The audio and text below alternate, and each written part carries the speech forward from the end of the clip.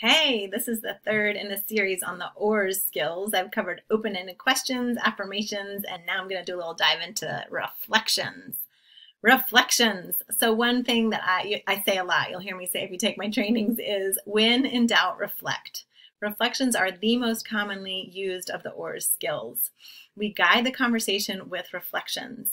So what is a reflection? A reflection is a restatement of what the client has said. In motivational interviewing, we break it down to simple complex simple reflections and complex reflections.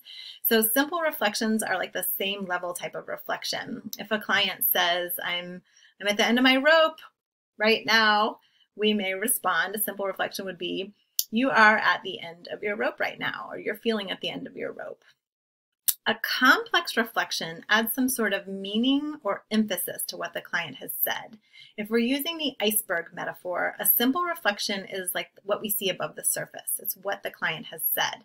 A complex reflection is what is beneath the surface of the water. It is the deep mass beneath. It is what a client may mean but have, has not yet said.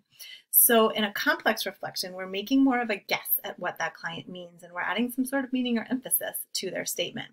So if a client says, I'm at the end of my rope, a complex reflection might be like, you're not sure when you're going to fall off the end. If you're really scared about what's going to happen when things fall apart, or you're trying to find a way to hang on right now, or you're interested in talking today about how to climb that rope and get to more stable ground.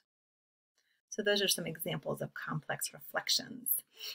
So a couple of tips in MI, again, when in doubt, reflect. The most common response to a client statement should be a reflection.